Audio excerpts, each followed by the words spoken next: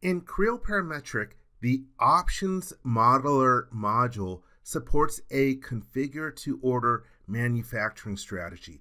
What we mean by that is that you can set up a special kind of assembly called a configurable product that contains configurable modules, and then you can also have different options and choices. For example, we have options for fuel, and the choices are large and small.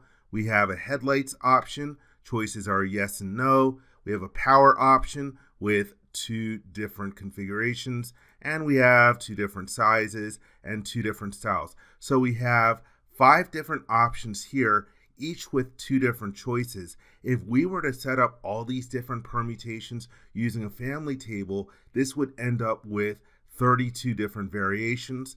The more options and more choices that you have, the bigger your family table would be. But again, we want to allow someone to make their choices at the time they want to purchase something. So rather than predefining all the different variations, we are using the options modeler to do that. Let's take a look at how we would actually build the variations. We do that with something called the variant builder. Let's click on the icon in the ribbon. This will open up a dialog box that has three main areas.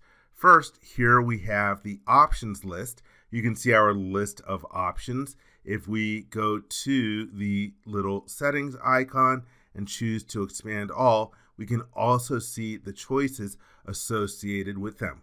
Here we also have the model tree. I'm going to make the first column a little bit wider so you can see that we have our configurable modules as well as standard assemblies and standard parts that will appear in all the different variants. If you take a look to the left of the configurable modules, you can see that there is a little yellow warning sign next to them. This indicates that the appropriate choices have not been made in order to define the variant. And when you are looking at the model tree, you can also go to this drop down list if you want to show the different choices for options that are excluded as well as the ones that are included. And let's go to the third area. Here we have the model graphics. You can see the configurable module and some of the components are appearing in a regularly shaded mode and others are transparent. The muffler, for example, appears with regular shading because it is a component that appears in every possible variant. But the ones that are transparent are ones for which a choice has not been made. So let's say that we want to go about building a variant. There are two different methods that you can choose. You can pick from the different options or you can pick out of the model tree. I like picking out of the options. That is what I am going to use. And so for the fuel, let's say I want to create a variant that has a large fuel tank and I do want to have headlights so I can ride at night and I want a lot of power. I want a long motorcycle and for the style, I'm going to keep this one to the road. So there I've made all my different choices available in here. Next step, oh yeah, let me take a look at the graphics area over here. You can see that the graphics area is updated to reflect the different choices. The next step is that I can choose to either update representation, update assembly, create a product variant, or cancel out of here. The first choice, update representation, I almost never use this. The way that the choices would be reflected in the main graphics area is with a simplified representation if I choose update representation. This again will just update the graphics in the graphics area. It's not going to regenerate the model, so a bunch of the components could end up in the wrong location. Then you'll have to do stuff like reapply the current configuration and regenerate to get the positions to look right. Let me skip over that one for now. The next choice here is to update assembly. When I want to take a look at the outcome, I would typically use update assembly because that that'll select the different choices and also regenerate the assembly. And I'll also show you create product variant to create a brand new assembly model. But let's go to update assembly. And it asks me, do I want to leave without saving changes to this particular variant specification? Up here in the upper left hand side, we have a list of different variant specifications. And a variant specification is a list of particular choices that you have made. Let's say that no, we don't want to leave without saving changes to the variant specification. If I go to the drop down list, someone has already configured a variant specification, a bunch of choices corresponding to a street racer. There's also another one for Rocky Road. And that's a way that you can set up a bunch of different choices that you want to go back to over and over again. Let's say I want to get back to this set of choices at some other point. Well, we can go to this drop down list and you could save this variant specification. And you could either save it out to a local file in your working directory, or you could save it here in the particular assembly and I can choose, hey, let's save this out to a local file, and then you can just call it whatever you want. Let me call this configurable motorbike dash one, and it'll save it in a .vsp file. In my working directory, there is already another VSP file, and if you have another .vsp file, you can open those up later on. But let me choose to save it out to disk. If you also go to the drop down list, from the new variant spec flyout, you're able to create a new variant specification, or you can read one in from file. Read in one of those .vsp files. Oops, let me cancel out of there. And that way, I've accidentally saved the uh, variant specification that I just made. Here's the CNFG configuration 0001 that I can access later on in the assembly. But anyhow, let me show you. Again, I'm going to choose to update the assembly. Here we get this affected children dialog box. So when it wants to regenerate, says, hey, how do you want to deal with the children of the configurable product? For some reason, you might want to exclude certain components from regenerating and rerouting and updating locations. I don't know why you would want to do that. I usually just always click OK out of the affected children dialog box and and oops, looks like I was using the wrong configuration. Let's go back to the variant builder. And whenever you close this, for some reason, it always goes back to everything being collapsed.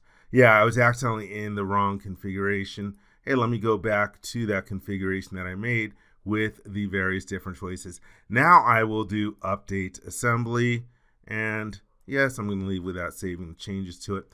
Now we can click OK out of here. And we no longer see the overlapping of components. We no longer see a situation in which our model looks overloaded. We're just seeing the components reflecting our different choices. If you take a look in the lower left-hand corner of the graphics area, here tells us that the master rep has been modified. So again, when you are applying the different choices, here within the configurable product, you're really just updating a simplified representation. Let's go back to the variant builder. And once again, let me expand all. And I'm going to use the options selection method. And let's choose this time we want to have a small fuel tank. And we want to have, let's see, let's do no headlights. Let's do the lower power setting. Let's do the short size and we're going to use the off-road configuration and there are no warning signs in the model tree indicating that everything is good. I can go to this drop down list and choose to save this as a variant specification. We could save it to the assembly and so that way I have this as the new variant specification with that name or you could type in a new name and then save this variant specification. Okay, there it is saved into the assembly. If I choose update representation, there you can see all the components are not in the right locations because it just updated the simplified rep without regenerating and updating the positions. So then you would have to like reapply the current configuration, click OK out of here, then try regenerating. And there we go. Now all the components are flying back into the correct location. So again, that's why I typically do not use that update representation choice. I just update assembly so that I can regenerate and have the components show where they would be. Let's say that you are looking at this particular uh, configuration and you want to see all the different components. You can go to the View Manager, and here we have the simplified rep. You double click on the master rep, we can click the OK button, and here all the components are back displayed in the graphics area, but it's still using the current configuration for the location of the components. Let me close out of here Let's see if we go to the variant builder. Let me choose one of the predefined configurations like the street racer. That should be one that shows everything sort of big. Let me expand all. So yeah, this one has the long size, the larger engine. And oh, looks like it doesn't have a fuel tank specified. You can see that the fuel module still has a warning sign next to it. Let's make a choice for that. Let's use the small engine and it shows that the street racer has been modified. We could save this variant spec to the assembly and now we choose update assembly. Let's choose OK from the affected children dialog box. And then we regenerate.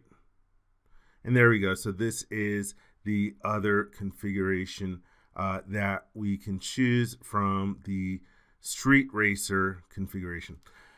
Okay, next one up. Let's take a look at at actually making a brand new assembly from this. So let me choose the variant builder and let's expand all for the choices. I wish you could set this to just always be expanded. Let me see. Let's say I want one with the large fuel tank, no headlights. I want lots of power, short size, and let's go with the road configuration and no warning signs over here. And then I could choose to create a product variant. This will actually make a new assembly. Again, if you take a look at the model tree, you can see that we have different symbols for the components in here indicating a configurable product, configurable module, uh, we do have some standard parts, standard assemblies, but this is a configurable product. If I choose to create a product variant, do I want to leave without saving changes to that configuration? Yeah, let's do that.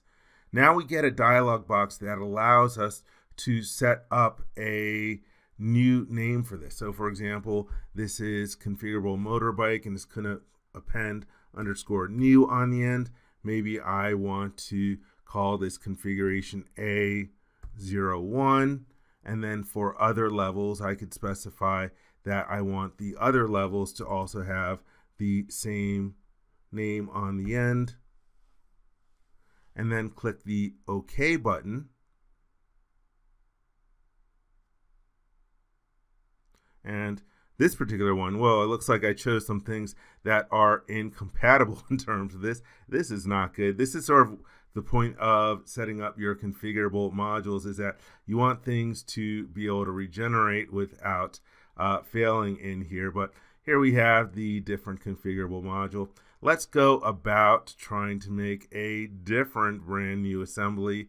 Let's try the variant builder once more and let's expand everything over here.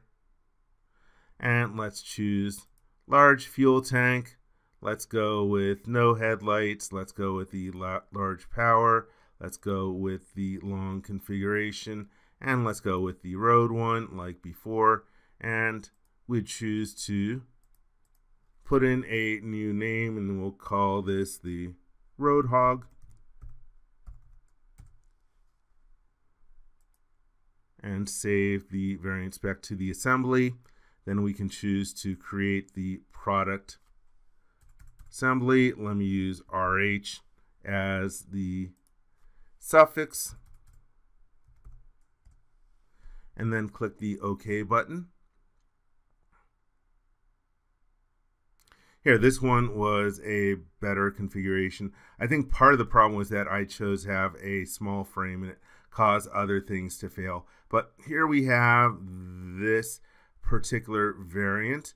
And be aware when I created this product variant, this doesn't actually save it out to disk. Don't forget to save this if you want to be able to retrieve this as its own separate assembly. And if you take a look in the model tree, we have all the regular symbols for assemblies and parts. We don't have any of those symbols indicating any configurable modules or any configurable products. Another thing to note in here is that sometimes when people create this product variant in its own separate window, then they go back and say, ah, you know what, for this particular configuration, I want to rename some of these parts and some of these different assemblies. You can also do File, Save As, and then save a copy of the object in the active window. And I could call this motorbike, and then let's call this B01, and then click the OK button. And this will give you the assembly save a copy dialog box that allows you to configure new names for any of the components as you wish. And then if you configure the new names, you can choose save copy or save copy and open. Let me cancel out of here. And let's go back to the configurable product. So again, with the different configurable modules, in order to make the new variant, you can use the variant builder and you can make your different choices from the options selection. And then after you make your different choices, you can save out your variant specification or load in an existing variant specification, and then either update representation, update assembly, or create the product variant. I hope you enjoyed this video. For more information, please visit www.creowindchill.com. If you learned something from this video, please give it a thumbs up. And if you like this video, please click the subscribe button and ring the bell to be informed when new videos are uploaded. Thank you very much.